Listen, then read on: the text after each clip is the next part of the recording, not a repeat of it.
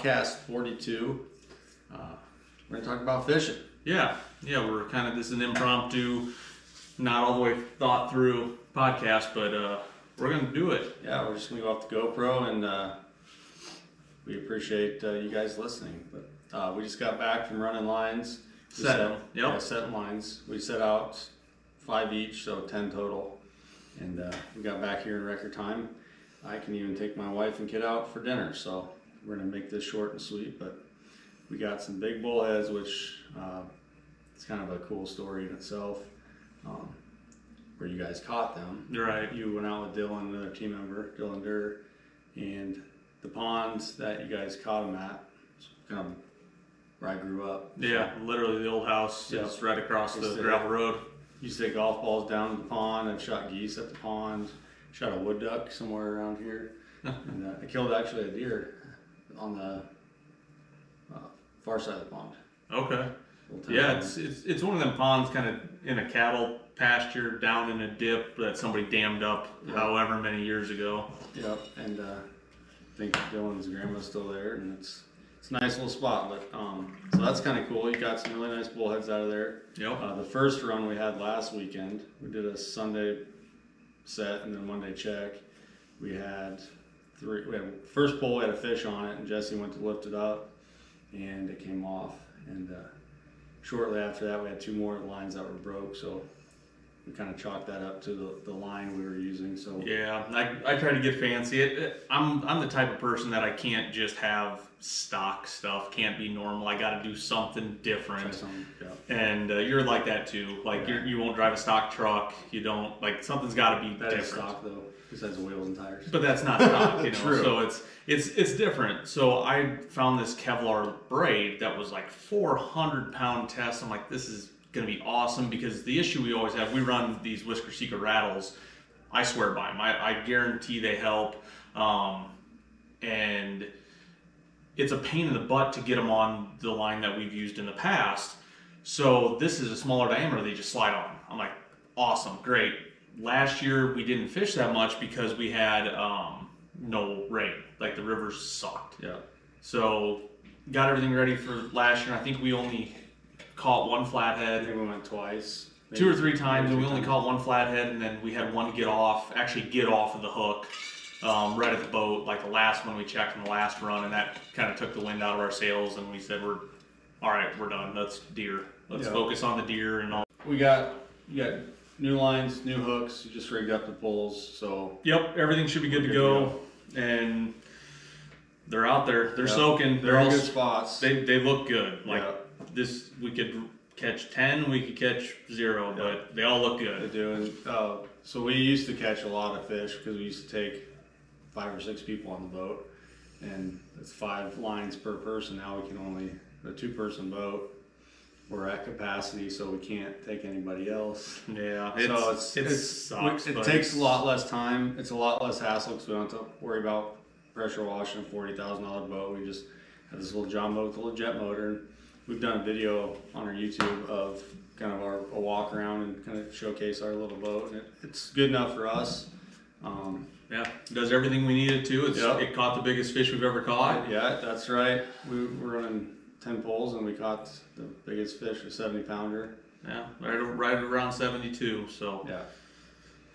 So that's uh, as far as fishing goes. Yeah, you've crappie fished. Crappie fish a little bit. I, I had like two days I went, and then we got all that rain again Yeah. and jacked stuff up, and it. I got my fix. I wish the weather wouldn't have changed around.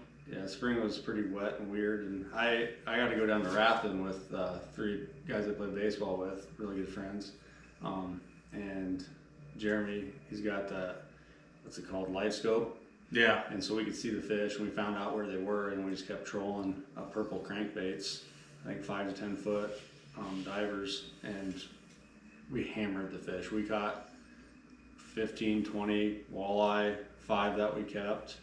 I caught the biggest. Nice. And then uh, TJ caught the biggest wiper, which is a pretty good sized wiper.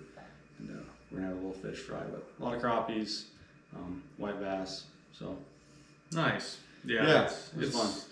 Spring's one of those you get you get everything wrapped up with turkey season. I mean, the team just absolutely pounded the turkeys. I mean, we only put out maybe two thirds of the videos. I mean, there's guys that I mean, Casey killed five for six birds in a couple different states, all with his bow, all on the ground, no So blind, had like plenty of video to all that stuff. Yeah. And, and I'll put that out next year before season starts. And like my daughters killed birds. I killed birds in Wisconsin with Mitch.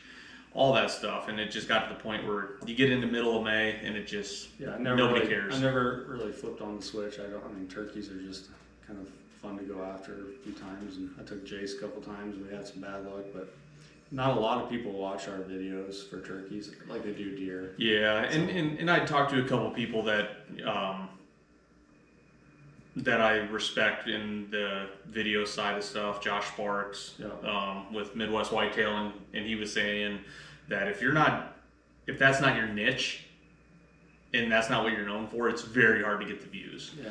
And and I agree. He's like in the South, that's their deer. Turkey hunting is their deer, is their Midwest deer if you're in hunting. Wisconsin and you're Yeah, Austin. yeah. Au- Austin we, we, we don't really. We, we're diehard deer hunters, and we like to turkey hunt and Yeah. and fish. It's fun. It, it's fun. It's like I love dove hunting. I, Yeah. It's just it's so Which we haven't done in a few years. We used to go all the time and shoot limits, you know, two days in a row. Then the field was burnt out, and we eat Right. right. poppers for a week. And The uh, the field by my house should be corn this year, so it should be should be doable again. yeah, it's it's it's fun. So yeah, we we're kind of switching gears now. We're straight catfishing, doing some food plot stuff. But if you guys want to get into catfishing, um, catfish getter rods, they come pre, like they have all the, they don't have rattles on, but they have hooks and everything. They ship with The the the lines, the cat daddy, the yeah, cat daddy. the cat daddy stuff. You can order them with lines and all that stuff on there. Like I said, I'm just so anal about what I like.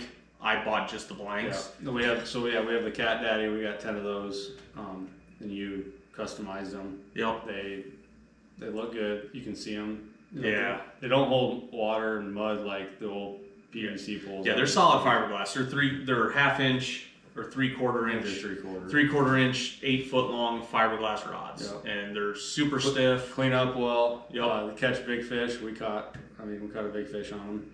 Um, Yep, we, we see PVC ones all the time, and when we were Yeah. setting lines, they're a pain to put in, a pain to clean. Your boat gets all muddy, and it's just they, Yep. they're so limp. And but yeah, if you want to get, uh, maybe you can put a link to that website. yeah, I'll, I'll look at them. Yeah, the, the cat daddy ones we've worked with them the last couple of years, and Yeah. it, I wish we we would have had a better year last year. Just weather didn't Yeah. didn't jive with it this year. Everything should all the everything should be worked out this year. So the water as, level actually dropped four foot from when we went last week, and it's it's probably right. It's perfect right now. Usually we catch more fish when it's rising, but it's at a it's at a good level. Today I spent three hours cleaning off the ramp. We had thirty loads, bucket loads from the tractor of silt, and because the water was so high. Yeah. you can see like our one of our last pulls we put up, like at head level on the bank. There was logs, so that's wh- how high it was Yep.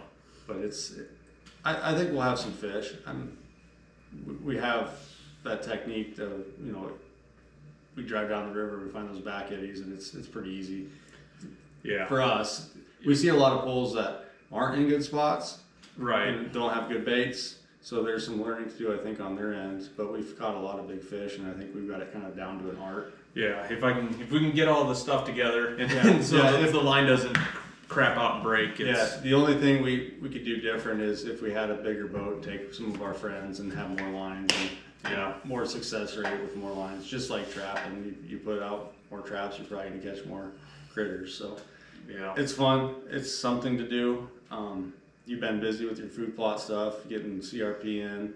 I've been spraying plots. I custom sprayed for a guy this past week, and it's just one thing after another. Need to do this, to do that. Need to get our earth ponds in. Yep, they they showed up. I dropped.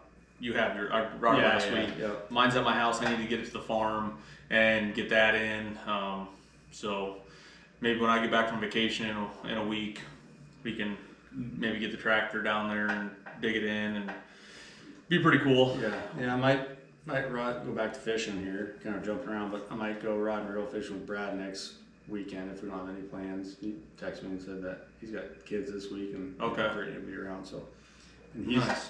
yeah, he'll be gone. Yeah, yeah, we're going to the Dominican for a family vacation, so get that out of the way and Get your tan on. yeah, get my get my ginger tan.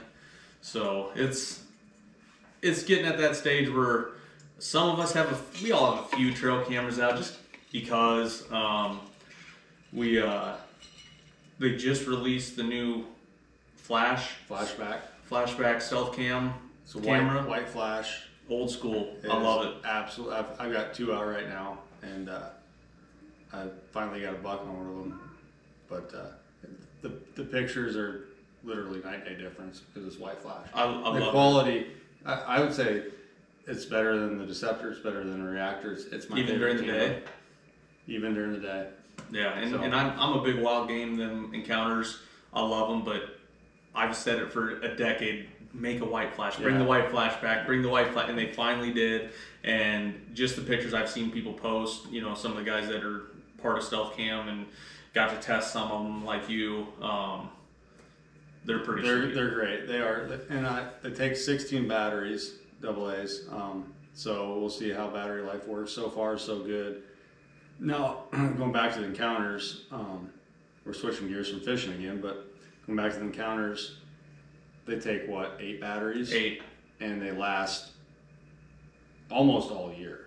Yeah, I mean, And they are It- just a great quality encounter 2.0s from Wild Game. If you guys are looking at cameras, Yeah, they're they're awesome. I, I love mine. They're my I have a whole bunch. I bought a bunch. They had a BOGO sale last fall.